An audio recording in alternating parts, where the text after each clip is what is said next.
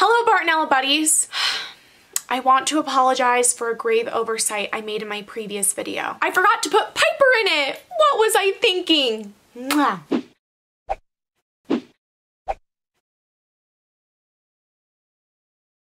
This video is going to build on my previous video on titers. Remember how in my previous video I said that Lyme literate medical doctors, or LLMDs, are the doctors best suited at this time to treating Bartonellosis? Well, I still stand by that, but I want to make the switch over to calling them Bartonella literate medical doctors, or BLMDs. The reason for this is manifold. One is that Lyme disease and Bartonellosis are caused by two different bacteria and can cause severe disease manifestations independent of each other. Also, for some people, Bartonellosis is the primary infection and Lyme is the co-infection. Moreover, not all Lyme literate medical doctors are Bartonella literate, and this honestly alarms me. I read about patients all the time using the wrong antibiotics for the wrong duration at the wrong dosage at the direction of their Lyme literate, Bartonella illiterate medical doctors. I see these doctors using the wrong tests and interpreting tests incorrectly. If Bartonella is a big issue for you, or you at least think it is, you need to make sure that your LLMD is also a BLMD. I'm really hoping that BLMD isn't already an acronym for something weird or gross or sexual or weird, gross, and sexual. If you have Bartonellosis and you're not infected with Borrelia, I would encourage you to not say that you have Lyme disease. Once my friend told his coworker that I have Lyme disease, and I was like, no, dude, how is Bartonella ever gonna get the recognition it deserves if you keep calling it Lyme disease? Hence why I'm Bartonella babe and not Lyme lady.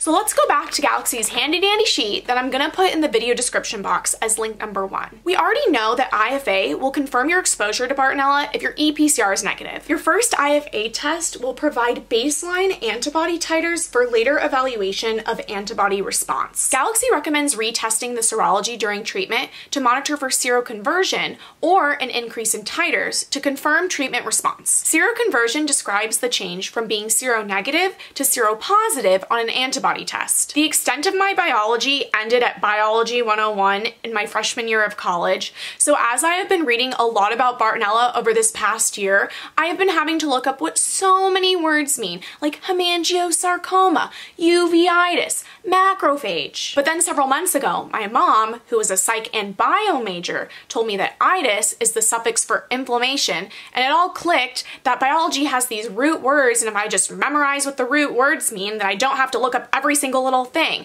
And I was like, you couldn't have taught me that 20 years ago? Oh, like when you were six? Yeah. Uh, how about 10 years ago? Okay. So in case you already didn't know this, the sero part of the word refers to blood serum and the converts part of the word refers to going from negative to positive.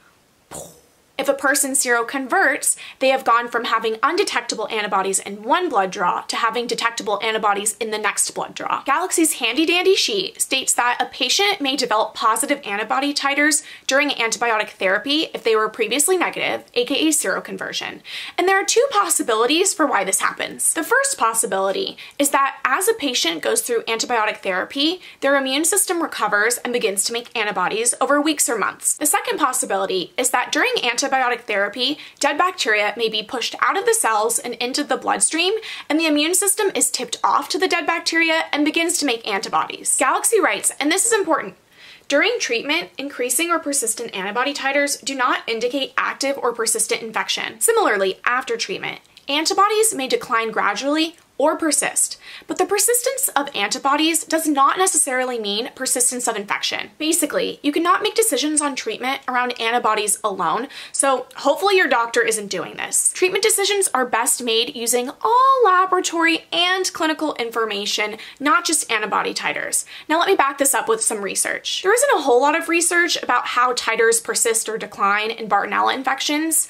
In the scientific literature, this is referred to as antibody kinetics or antibody decay okay. I like to tell you what the proper terms are for scientific phenomena in case you want to research it yourself. Because let me tell you, it is so difficult to do research when you don't even know the proper key terms to use. Antibodies decreasing over time. Antibodies staying the same. Antibodies going down. One of the best studies I could find on antibody kinetics was a long-term serological follow-up on patients with cat scratch disease published in Clinical Infectious Diseases, which is the IDSA's journal, and I'll put this as link number two. The authors studied 98 patients with acute cat scratch disease, and what they found was that most people's antibody titers decline over time, and that 75% of patients are seronegative within a year of the disease onset, but 25% of patients still tested positive on IgG more than a year after the onset of cat scratch disease, and some of them two years after the onset. The authors found no relationship between antibody kinetics, duration of illness, or disease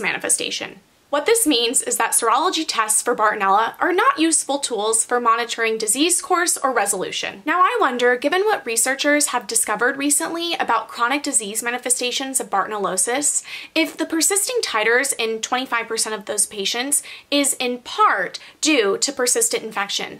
To know that, we would need more research. Does anybody out there want to fund this? Anybody?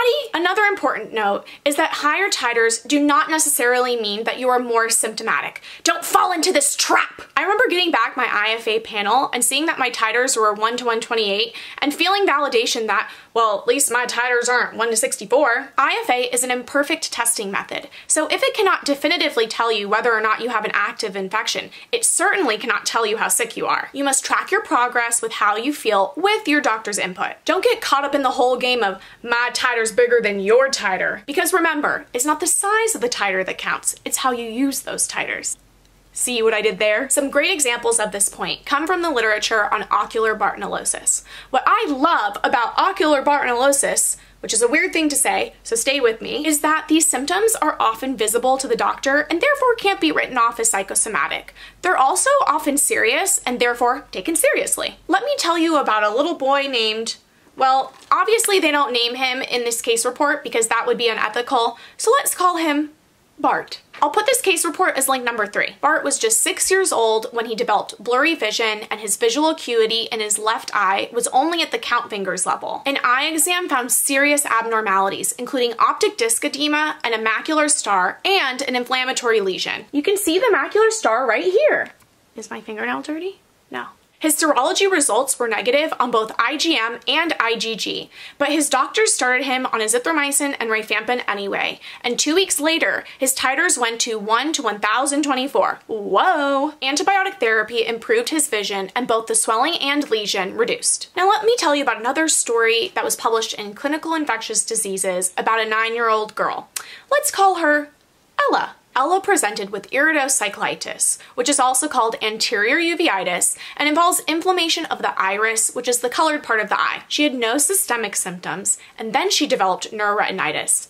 At this point, she was tested with a Bartonella IFA, and her titers were 1 to 128, and this was 13 months after the onset of disease. The report literally says, and I don't know if this is like a language barrier or translation issue or what, but this made me laugh. Um, the patient's medical history was unremarkable. She denied having pets, but admitted having frequent contact with horses. And then it says, the patient was then carefully questioned about animal contacts. She confessed close contact with cats. Fess up, little girl. Have you been playing with cats? No, no, I wouldn't do that. Mer, see, I told you she was a liar. Fine, it was me, but Jessica made me do it. Little Ella began antibiotic therapy, her neuroretinitis resolved, and she remained healthy in a six-year follow-up, and her antibodies declined to undetectable levels. So what we've learned from Bart and Ella See what I did there? Is that people with serious disease manifestations of Bartonellosis can have low titers, and people with low titers can experience an increase in titers after starting antibiotic therapy, and that titers can't tell you how sick you are, nor can they tell you about disease course. And Bart and Ella are only two case reports out of many in the literature of people with severe manifestations of Bartonellosis with low or no titers. And there have been case reports of people bacteremic with Bartonella with severe psychiatric pediatric, rheumatological, neurological, ocular, hepatic, and general symptoms who have no titers, low titers, and or seroconvert after starting antibiotic therapy. Most of these studies have been conducted by Dr. Breitschwerdt and his colleagues, and I'll put a link to a few of these in the video description box. These case studies are a great start, but what is sorely needed are studies that follow symptomatic Bartonellosis patients through treatment. These types of studies have not yet been done, and they're expensive. Does anybody out there want to fund this? Anybody? From there, researchers can hopefully build the kind of evidence that is needed to change what is taught to new doctors and to send updated information through continuing education channels for physicians. Only then will infectious disease doctors and other mainstream doctors become more Bartonella literate. Hit that subscribe button if you haven't yet, and make sure to share this video so you can help me go viral. Or should I say, bacterial. See what I did there? Your first IFA will also provide baseline antibody, antibody, antibody, anybody out there? tests are not useful tools for monitoring, monitoring, Monitoring. monitoring, touring by oneself.